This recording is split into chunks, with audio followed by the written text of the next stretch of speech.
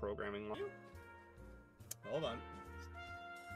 Oh, I have a question, Mossman. I want to design a laser file for a box and don't know where to start. Um, hold, please.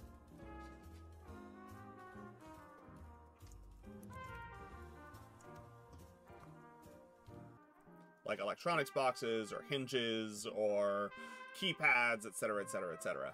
that one's probably the better one for you if you're trying to do something weird. Um, can sculpt though and make flat packaging meshes. Well, the nice thing is, is a the 3D modeling only laser cutters. You have basically the design files right there, right? It's a DXF or SVG or something of that nature, which is already in itself editable. So if there's something that has what you want, that's kind of close, make it happen. Um, my big suggestion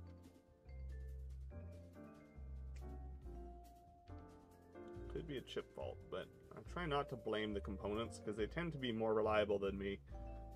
So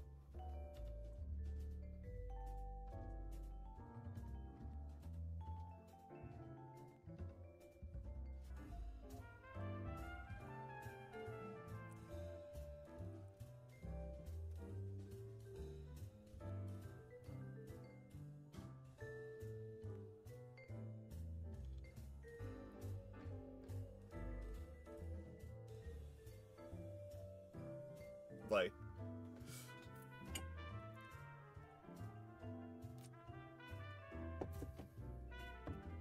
Absolutely easy.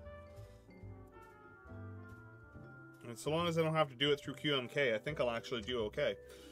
it needs to be as complex as that pin. Some short there. The next likely uh, candidate is that the chip itself is holding it under reset because of some error state. Um,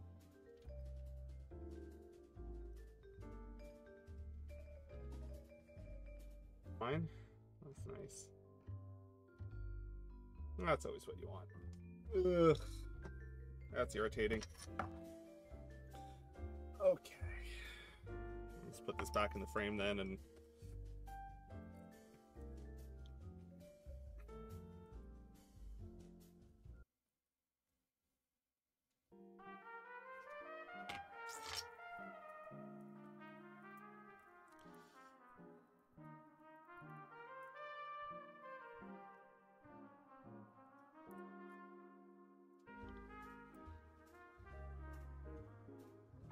like 40 gauge, if I remember correctly. It's silly, silly thin.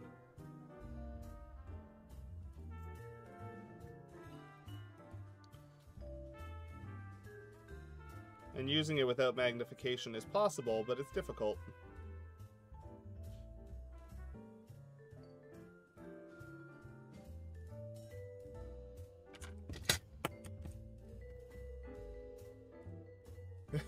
after after our rant last week.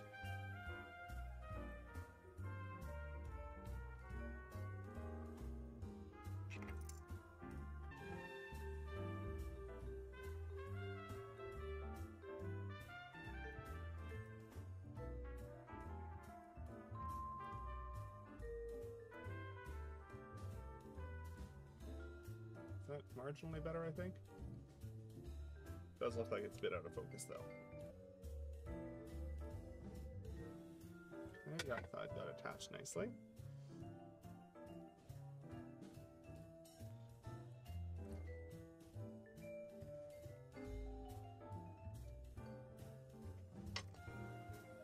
Tiny, tiny wire, right? I think this is something, nothing wrong with that. Laser is awesome in that way because it, it's harder to do that with CAD files because for like 3D printing rather, because usually you get STLs, which are kind of like a picture of the outside of the model and you have no other information and it's an approximation, a triangular net wrapped around that object. But with out of the frame, holding it here.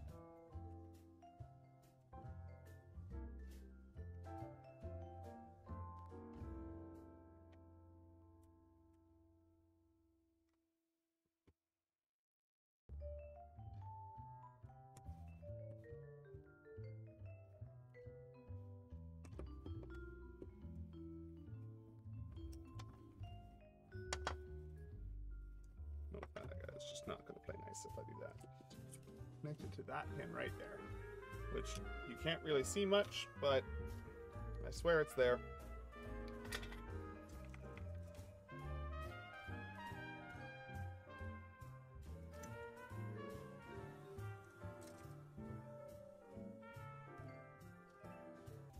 Alright.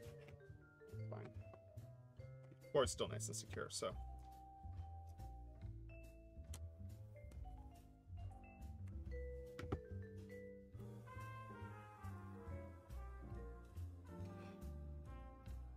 Let's unplug our programming header because now, and uh, 3D model the thing with your material thickness because especially if you're going to do boxes, you tend to use finger joints or bolt joints or anything like that, where your material thickness makes a big difference.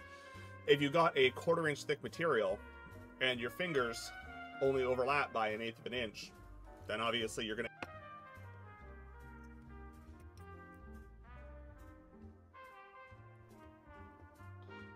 Should probably check for that short before I go at everything.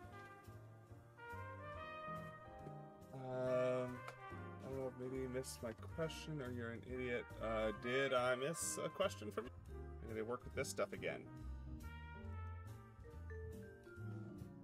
You know, I had this spool for years and didn't use it at all. It was one of those things I bought and I told myself, oh, it'll be useful eventually. And then like, eh, it probably won't be. I probably won't need it. And now end up with really weird wonky looking edges. But um, yeah, Maker Case is uh, one of a couple of different options. but um, there's a couple of really fun tools for that. Um, and there was another one. Let me see if I can. It's like the most fundamental thing I have for this project.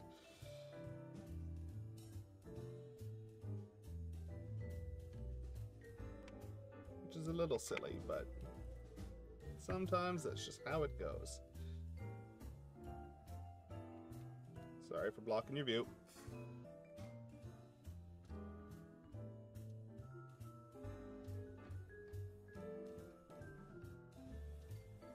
Okay.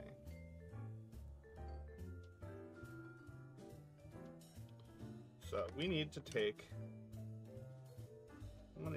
very, very tiny wires and would be, because like there's kind of the two ways that you can go about doing laser cut files, right? There is the version where you go into something like Inkscape or whatever and you draw it as a flat pattern, and then in your head you try and put all your pieces together and make sure they work. Or what you could do is go into a 3D modeling software, some kind of CAD package,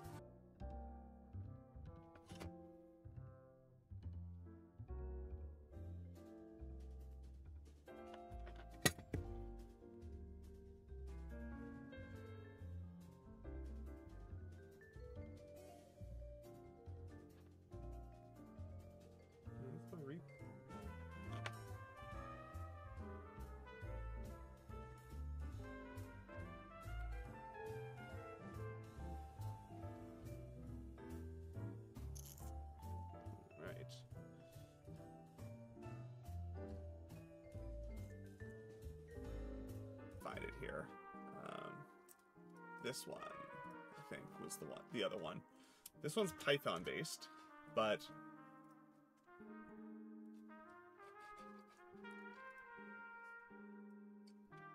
yeah, that one allows you to actually do really complicated shapes.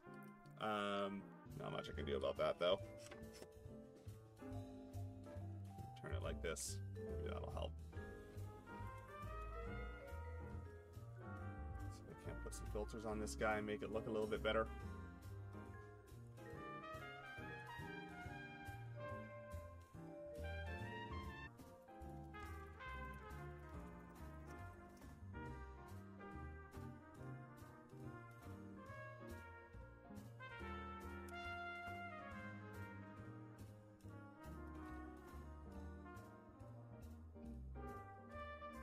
There, there. So I will say there is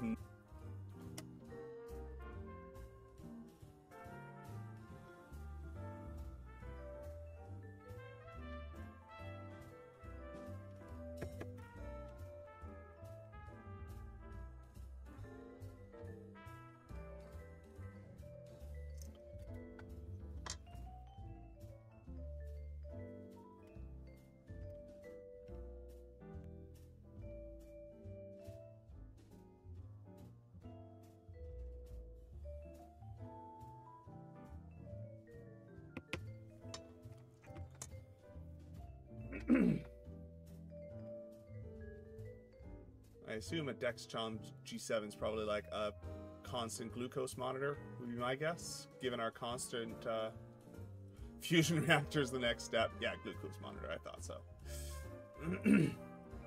fusion reactor is the next step. Yeah, I mean, obvious.